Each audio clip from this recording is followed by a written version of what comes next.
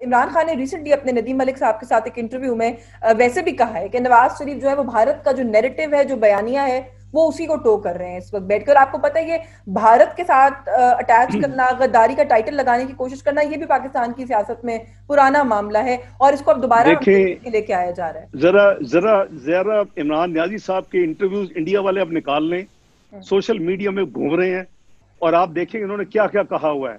Arm हम्म। Forces को क्या कहा हुआ है। इन्होंने मुख्तलिफ़ वक्त पे इंटेलिजेंस एजेंसी को क्या कहा हुआ है? इन्होंने मिसिंग पर्सन के हवाले से क्या किया हुआ है? इन्होंने कितनी तादाद हो तो इनकी जर्नैलों की मुसीबत पड़ जाती है? वो बीस हज़ार के इन्होंने नंबर बताया हुआ है। तो ये न्याजी साहब का ये पुराना ये एक स्टाइल था और मैं समझता हूँ कि वो उनको देखना चाहिए।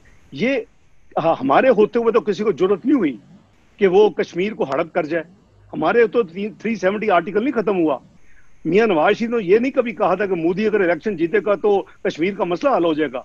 हम्म। उस मियाँ नवाज़ शरीफ तो जुलाई जो है वो अठारह में जुलाई उन्नीस में बीस उन्नीस में जो अमेरिका में जाके आगे ये बयान नहीं दिया था कि मैंने अमेरिका के प्रेसिडेंट को बात हो गई और वो मीडिएट करके कश्मीर का मसला हल करवाएँगे मीडिएट करेंगे।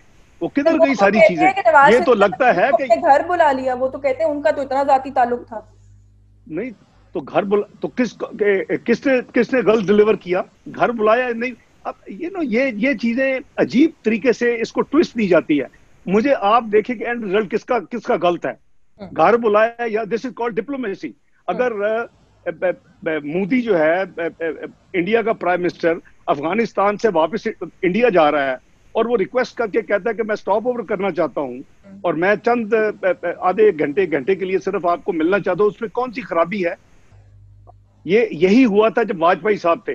और उस वक्त भी मीनारे पाकिस्तान के नीचे खड़े होके मियाँ नवाज़ शरीफ की वो डिप्लोमेटिक विन थी और सक्सेस थी पाकिस्तान के लिए। उन्होंने पहली दफ़ा पाकिस्तान को तस्लीम किया प्रॉपर फॉर्मल तरीके से। उन्होंने पहली दफ़ा कश्मीर के मसले को कहा कि हमें नेगोशिएशन के लिए हल करना चाहिए और फिर क्या हुआ जी, कारगिल कर दिया गया। मैं किताबें लिखी जा सकती हैं बीबी, इसलिए जो जो इमरान न्याजी साहब को आप छोड़ें, वो उनकी तो उनको ये नहीं पता होता, मैंने पिछले महीने क्या कहा है? मैंने पिछले साल क्या कहा है? वो अपने अपने आप को चेंज करते हैं और अपने आप को यू टर्न लेते हैं। वो तो दुनिया में एक इम्प्रेशन सर ये भी के मास्टर हो गए। एक इम्प्रेशन आजकल ये भी है कि पाकिस्तान की तारीख के शायद पहले प्राइम मिनिस्टर हैं जो कि फौज के साथ एक अच्छा ताल्लुक एंजॉय करते हैं। लीडरशिप दोनों की जो है फौजी दायरे की भी और जो प्राइम मिनिस्टर जो है उनके आपस में बड़े अच्छे ताल्लुकात हैं। वो जो वन पेज की बात होती है वो भी हमें नज़र आती है। तो वो कहते हैं कि नवाज़ शरीफ साहब का हिस्टोरिकली देख लें कभी भी ताल्लुक अच्छा नहीं रहा। एक लंबी फहरिस्त है कि जिनके साथ वो एट ऑर्ड्स रहे जर्नैलों की। तो नवाज़ शरीफ को इसलिए ये बात सूट नहीं करती। वो कहते हैं आप असलम बेग कर लें आसिफ नवाज़ करें आप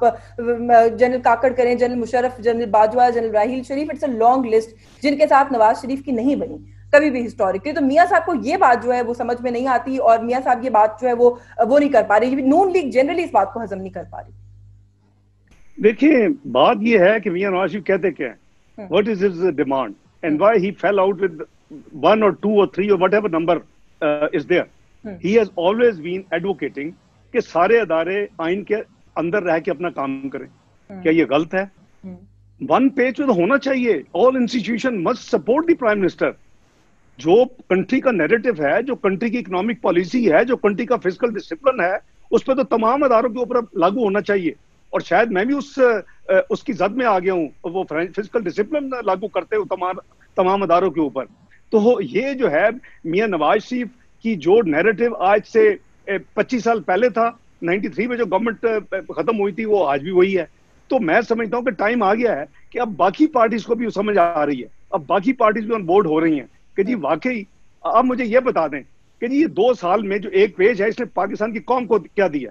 हम्म। वो लोग तो मज़ाक में कह रहे हैं कि न्याजी साहब प्रूव टू बी जो बड़ा नोन है, मजाकन भी और एक्चुअल एक, वो एक केस की तरह डबल शाह कि हर चीज़ को डबल करके वो लोगों को झांसा दे के पैसे लेते तो गायब हो गए डबल शाह तो ये डबल कर रहे हर कीमत को एटलीस्ट आप चीनी ले ले, आटा ले ले, दवाइयाँ ले ले, आप सब्ज़ियाँ ले ले, आप गैस ले ले, आप बिजली ले लें, आप डॉलर की कीमत ले ले, सोने की कीमत ले ले, उम्र की कॉस्ट ले ले, हज की कॉस्ट ले ले. तो ये तो पोलिटिकल डबल शाह है. इन्होंने तो हर चीज़ पकड़ के कीमतें मैं मैं नहीं कह रहा ये मैं ट्विटर में जो पढ़ रहा हूँ लोगों के कमेंट्स इनके बारे में तो इन so at the end of the day हमने देखना है कि जो एक पेज है वो किस उसका क्या बैकग्राउंड है? अगर एक पेज इलेक्शन मैंडेट को हाईजैक करके उसको ए, उसको वर्चुअली चोरी करके किसी को ला के बैठा दिया जाए और वो एक पेज पे हो अगर मैं मैं अब एक बड़ी और बात करने लोग शायद काफ़ी लोगों को मेरी अपने लोगों को भी दो, दोस्तों को ना पसंद आए अगर ये लोग इकोनॉमिक यानी जो सफियर है हम्म। यानी मीशत के हवाले से और कौम के जो उनके रोज़मर्रा के जो मामला हैं जो उनके एशिया खुर्दो नोश की चीज़ें हैं जो उनकी बिजली के अगर ये महँगाई को और मीशत को सही हैंडल कर लेते तो हम्म। शायद इतनी पॉलिटिकल पार्टी को स्पेस ना मिलती और वो इतने ज़ाहिर है कि हो गया काम एक्सीडेंट हो गया एक्सीडेंट हुआ ना जी कि। एक बड़े अभी देखें वो एक्सीडेंट भी अल्लाह की तरफ़ से in a very short span of time ये बीस साल के बाद भी अनर्थ हो सकता था इस दस साल के बाद भी हो सकता है अब जो मियाँ नवाज़ शरीफ ने एक वीडियो एक ट्विटर पे मैसेज दिया और साथ एक वीडियो लगाई तो उसमें आपको बताया जा रहा है कि अपना पनामा तो सबको पता था कि क्या ड्रामा था डॉन लीग का क्या ड्रामा था उसे तो वहीं से शुरू हुआ उसके बाद कैसे मैनेज की गई अकाउंटेबिलिटी कोर्ट वहाँ से जो बाहर निकले कर्नल साहब उसको कैसे मीडिया ने बात की? उसके बाद अरशद मलिक साहब ने क्या कन्फेशन की? फिर जो इंटीरियर मिनिस्टर ब्रेडी एजाज शाह कह रहे हैं कि वो चौथी दफ़ा भी प्राइम मिनिस्टर होते। फिर आपके जस्टिस शौकत सिद्दीकी कह रहे हैं कि उनको क्या कहा गया?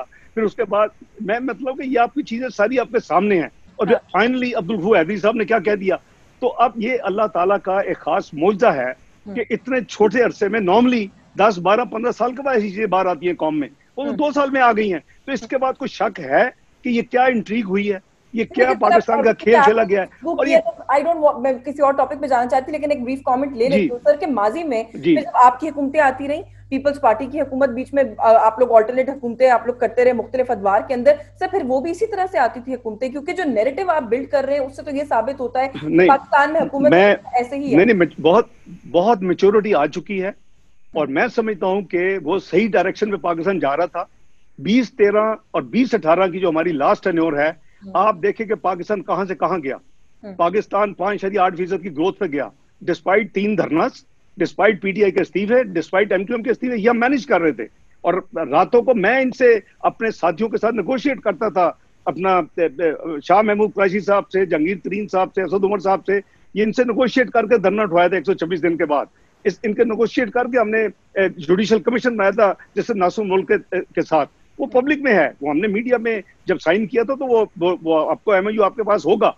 तो बात ये है कि हम किस लिए कर रहे थे? हम ये सारी चीज़ों के करने के बावजूद पाकिस्तान ने इन्फ्लेशन कहा छोड़ी यानी एक चंद महीने पहले चौबीस फ़ीसद देहातों में टच की है। और शहरों में ऑलमोस्ट ट्वेंटी परसेंट नाइनटीन अभी की तरह अभी भी तेरह और ग्यारह फ़ीसद। इसीलिए लोग चीख पुकार रहे हैं। देखिए लोगों को अपनी ज़िंदगी और उनके दो वक्त की रोटी चाहिए। आज आप अपने आप से पूछ रही है कोई भी जो ब्रेड अर्नर है किसी फैमिली में कि उसकी क्या हालत है? हम्म। वो बीस अट्ठारह में खुश था या आज खुश है? आपको जवाब मिल जाएगा। लोग जोलियाँ उठा के बदुआएँ दे रहे हैं। अच्छा, तो ये एक पेज जो है ना इसने बाईस करोड़ आवाम को आवाम को उसकी ज़िंदगी अजीरन कर दी है। सर बहुत सारा कुछ अभी लेकर भी वो सामने आ रहे हैं। वो कहते हैं जी कोरोना ये कोरोना और ये जो पैंडेमिक है इसकी वजह से एक सिचुएशन डेवलप हुई थी। लेकिन वो कह रहे हैं कि अब तो हम बेहतरी की तरफ़ जा रहे हैं। वो कहते हैं जी हम करंट अकाउंट खसारा जो खत्म हो गया। हम जो है वो तो हम उसमें चले गए हैं डेफिसिट से निकल गए हैं बाल सरप्लस में चले गए हैं एक्सपोर्ट्स जो हैं वो भी एक अपवर्ड ट्रेंड शो कर रही है तो वो तो बड़ा प्रोजेक्शन आजकल कर रहे हैं वो कहते हैं हम तो मीशत को हमने सही डायरेक्शन में डाल दिया है. मेरे शायद आपको टाइम नहीं मिलता होगा आर्टिकल्स पढ़ने का या आपके व्यूअर्स को। मैं रेगुलरली इनके झूठ को एक्सपोज करता हूँ। बात यह है कि इकोनॉमी ग्राउंड हो चुकी थी कोरोना के आने से पहले। हम्म। इनके पहले 20 महीने में इकोनॉमी बिल्कुल ग्राउंड हो चुकी थी। हम्म। नंबर दो इन्होंने जो कोरोना में उसने सत्यानाश का सवा सत्यानाश किया आके वो लेकिन वो पिछले आप कह लें कि आखिरी चार महीने पिछले फ़िज़िकल ईयर में वो करीबन चार महीने थे हम्म। साढ़े तीन महीने मार्च के एंड में शुरू हुआ था रफली हम्म।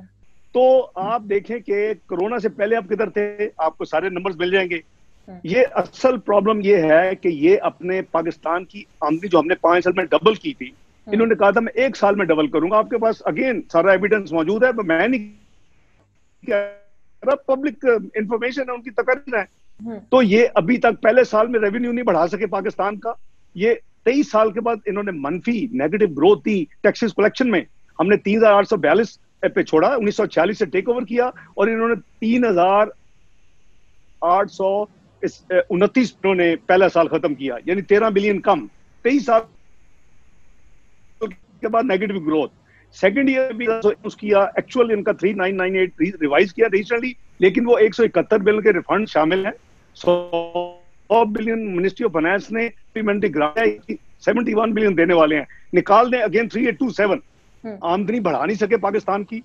अखराजात जो थे वो पैंतीस परसेंट बढ़ा दिए जो मुल्क चार हज़ार सात सौ अरब से चल रहा था उसमें डिफेंस भी थी उसमें डेट सर्विसिंग भी थी उसमें फेडरल गवर्नमेंट चलाना भी था उसमें डेवलपमेंट भी था हर चीज़ थी। इन्होंने उसको छह हज़ार सात सौ बहत्तर रुपए ले गए this is where the problem is और इसी वजह से ये जो दस हज़ार अरब के कर्जे कम करने थे इन्होंने जो कहा था जी मैं दस हज़ार अरब से कम करूँगा।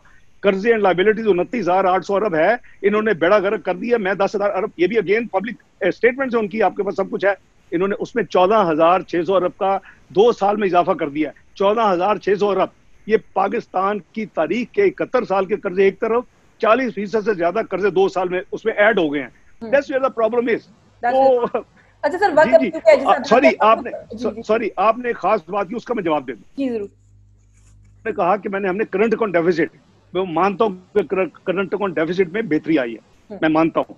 लेकिन लेकिन इट्स ए पायरिक विक्ट्री यानी hollow victory why let me explain to your viewers and yourself number एक के जो जो देखिए, ये शॉर्ट तो अपना आप कारोबार बंद कर दें, अपना आप अगर आपकी फैक्ट्री उसको बंद कर दें आपका बिजली का बिल आएगा, ना गैस का आएगा, ना आपको रॉ मटेरियल पैसे चाहिए होंगे, लेकिन आगे जाके तबाही होगी। इन्होंने इस, हमारा नंबर वन ये कि हमारा अपना पहले तीन साल का जो करंट अकाउंट डेफिसिट था, वो तीन अरब के करीब था पहले साल, दूसरे साल और तीसरे साल में चार के करीब था। ये जरा माइंड में रखें। पाकिस्तान लोड शेडिंग फेस कर रहा था अठारह घंटे की। पाकिस्तान को एलएनजी के 3600 मेगावाट की ज़रूरत थी, क्योंकि इन्होंने एक साल धरना दिया था तो कोल के प्रोजेक्ट चाइना के जो फाइनेंस थे, वो नहीं बिजली इतनी जल्दी वो आ सकते थे ऑपरेशन में। ये हमने सारी चीज़ें की, हमने डेवलपमेंट मुल्क में तरक्की का जाल बिछाया 2500 किलोमीटर हाईवेज बनाई, हमने कराची टू लाहौर मोटरवे बनाया, हमने कोयटा टू टू गवादर हमने हाईवे बनाया स्टेट ऑफ़ द आर्ट उसके नतीजे में पाकिस्तान की जीडीपी ग्रोथ पाँच आठ फ़ीसद पे चली गई। और इन्होंने क्या किया है कि जो करंट अकाउंट डेफिसिट इन्होंने किया है अच्छा हमारा हमारे चौथे साल में इस इन मामला की वजह से डेवलपमेंट एक्सपेंडिचर और साथ security expenditure security related I can't go into detail चूँकि वो यू नो क्लासिफाइड चीज़ें हैं। हमारा चौथे साल में 12 बिलियन और पाँचवें साल में 19 बिलियन क्रॉस किया। ये जो अमाउंट्स थे ये 20 19 फ़िज़िकल ईयर में जो जो भी नई हुकूमत आती ये नीचे जाना था। It should have been around 12 billion जो कि 12 बिलियन गया। और उसके बाद इन्होंने जो सेकंड ईयर में करीबन तीन बिलियन पे लाए हैं, उसकी असल वजह है कि इन्होंने पाकिस्तान कारोबार बंद कर दिया है। इंडस्ट्रियल ग्रोथ जो कि आपको एम्प्लॉयमेंट देती है, रोज़गार देती है, गुर्बत कम करती है मीशत का पहिया चलाती है, वो जो है, जो हमारे जमाने में करीबन साढ़े पाँच फ़ीसद प्लस थी, वो माइनस टेन फ़ीसद है। इन्होंने डेढ़ करोड़ अवाम लोगों को बेरोजगार कर दिया है। इन्होंने छह परसेंट आबादी को रफली इन्होंने गुर्बत की लकीर से हमने बाहर निकाला इन्होंने धकेल दिया है। इसे ह्यूज प्राइस सिर्फ़ जीडीपी पाकिस्तान की कौमी मजमू आमदनी इसको अचीव करने के लिए इक्यावन बिलियन डॉलर का कम हो गई है। We increase it by eighty billion dollar more than eighty billion we took it तीन सौ पंद्रह बिलियन डॉलर ये उसको दो साल में दो सौ चौसठ बिलियन पे ले आए हैं। कौन पे करेगा ये फिफ्टी वन बिलियन डॉलर इन्होंने एक रुपया लिए बगैर पाकिस्तान की करेंसी को मिसमैनेज किया और खुद पिछले हफ़्ते आपका नहीं एक, एक और आपके कॉलीग के प्रोग्राम में मोहित मोहित पीरजादा के प्रोग्राम में इन्होंने कन्फेस किया कि डिवेल्यूएशन से महँगाई बढ़ती है। इनको पहले नहीं समझ आई थी जब मैं रोज़े अव्वल से ये शोर मचा रहा हूँ कि हम पागल थे 99, 98, 99 में 69 रुपीज़ फिफ्टी टू रुपीज़ पे लाए थे कि हम इस दफ़ा 111 से 99 पे हमने किया और उस पर स्टेबल रखा। तो ये ये मुल्क की ज़रूरत है। ये ये कुछ बैरूनी और अंदरूनी हाथ हैं जो नहीं चाहते कि पाकिस्तान स्टेबल हो। इस बेवकूफ़ की वजह से डिवेल्यूशन की वजह से पाँच हज़ार अरब का कर्जा पाकिस्तान की कौम पे पाँच रुपए लिए बगैर चढ़ गया है। ट्वेंटी नाइन बिलियन डॉलर तो आप तो ये सारा प्रोग्राम करती नहीं है मीशत के। तो ये ह्यूज कॉस्ट है। तो ये कुछ सेलिब्रेट करने वाली बात नहीं है। बात मैं इनको सल्यूट करता अगर ये एक्सपोर्ट्स बढ़ा के करते। हाँ। असल में डिवेल्यूएशन जो रिपोर्ट्स ये दे रहे हैं वो कह रहे हैं कि उसके मुताबिक ये एक महीने की बात हाँ। देखें देखें बीबी एक महीने की बात नहीं होती। पहला साल माइनस टू परसेंट एक्सपोर्ट यानी इतनी ह्यूज डिवेल्यूएशन के बावजूद दूसरा साल ढाई अरब डॉलर टेन परसेंट माइनस अब यही बात है कि एक यानी सौ मंजिला इमारत है आप पहले उसकी इमारत के बीस मंजिला गिरा दें और उसके बाद कहिए हमने पाँच बना ली हैं। तो ये तो बड़ा सिंपल है। तो इसलिए पहले उस पॉइंट मीशत के ऊपर सर इंशाल्लाह किसी दिन फिर सेशन करेंगे। अभी भी आपको पता है वक्त थोड़ा लिमिटेड है बिकॉज़ मैं लेकिन मैं आपको I can't let you go without asking one more question वो ऑपोजिशन के साथ जो आप ऑपोजिशन जमातों का अलायंस है। मैं ज़रूर चाहती हूँ सर आप इस पर कॉमेंट कीजिए क्योंकि from where I look at it एक ट्रस्ट डेफिसिट नज़र आता है। आप पॉलिटिकल पार्टीज़ के दरमियान भी जो कि ये ऑपोजिशन अलायंस बना रही हैं और कोई जॉइंट स्ट्रैटेजी बनाने की बात करती हैं। पाकिस्तान पीपल्स पार्टी को आपको लेके ट्रस्ट डेफिसिट है आपको उनको लेके है। फिर पीपल्स पार्टी का तो मामला सर कुछ ये भी है कि उनकी सिंध हुकूमत है। वाई डू यू थिंक कि वो किसी भी चीज़ के लिए अपनी उस हुकूमत को एट स्टेक डालेंगे? खाजा आसिम साहब ने भी अभी रिसेंटली कुछ रिजर्वेशन का इजहार किया जरदारी साहब को लेके तो थोड़ा सा ओवरऑल इस पर जरा कॉमेंट कर दीजिएगा। देखिए इस तरह के जो है ये फीलर्स जब सीओडी हुई थी मुझे याद है कि मैं मैंने बीबी से इनिशियली मैंने उनको मिला मैं दुबई में जुमेरा वन में और उस वक्त पहली मीटिंग में जनाब आफ्ताब शहबान महरानी अल्लाह उनको ज़िंदगी थे he was the only witness मेरी और मोहतरमा बेनजी भुट्टो साहिबा की। और ये उस उस बिगनिंग थी और उसके बाद फिर हम तीन साल में करीबन चार्ट ऑफ़ डेमोक्रेसी पे पहुँचे। पहली और दूसरी मीटिंग में तो सिर्फ़ ये तक सिर्फ़ कोड ऑफ़ कंडक्ट होना चाहिए कि जी जो भी को हुकूमत जो भी बनाए उसको डिस्टेबलाइज अनडेमोक्रेटिकली ना किया जाए।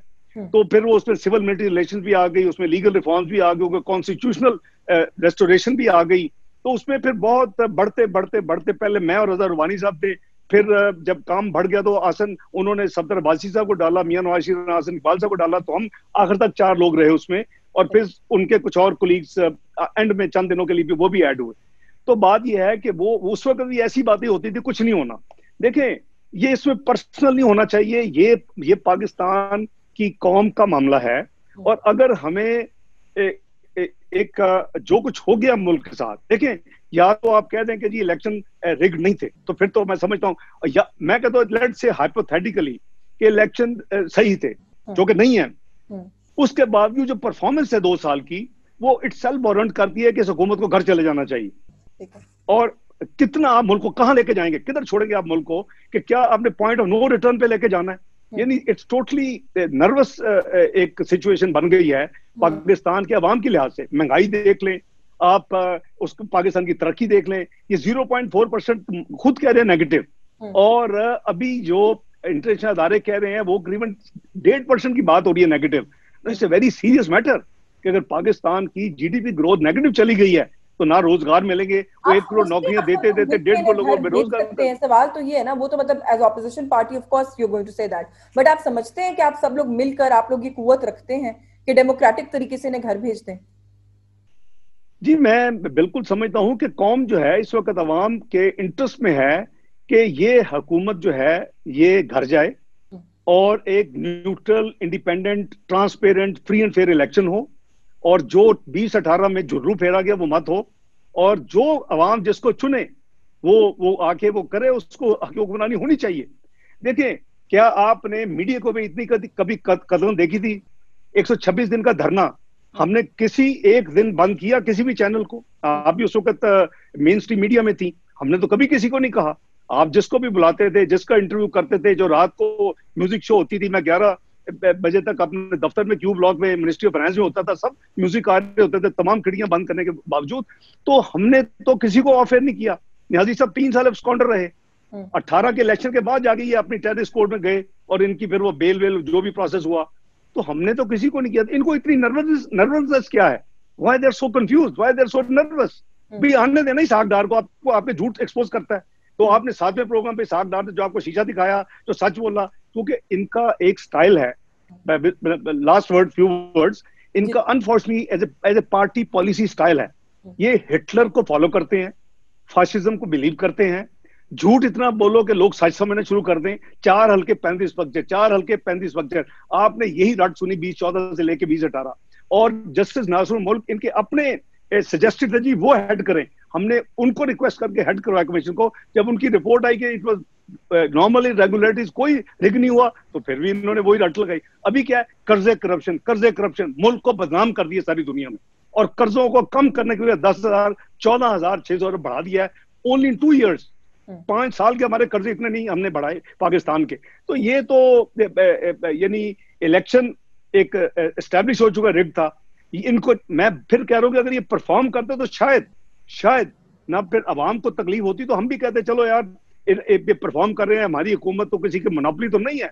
लेकिन जो इस वक्त कौम के साथ हो रहा है, जो लोगों के साथ हो रहा है, जो आप आप अपने आप को डोंट टेल मी अपने आप को देखे कि आपकी लाइफ और आपके फाइनेंशियल जो थे अरेंजमेंट्स घर के क्या थे बीस अठारह में आज क्या तो आपको आंसर मिल जाएगा। ऐसे लोग जोलियाँ उठा उठा के बदुआएँ नहीं दे रहे। तो मैं समझता हूँ कि इट्स हाई टाइम कि हम सब होश के नाखुन लें और हम पाकिस्तान को आगे लेके जाएँ। ये वो मुल्क है जिसको जी ट्वेंटी की प्राइस वाटर हाउस की रिपोर्ट थी कि it will it will be part of G twenty ये ये we are talking twenty sixteen the way it was taking off को कहते थे pleasant surprise forget forget about India it's the Pakistan the second choice ये मैं नहीं कह रहा दुनिया के ग्लोबल अदारे कह रहे थे। अब किधर हैं जी हम? दो साल के बाद।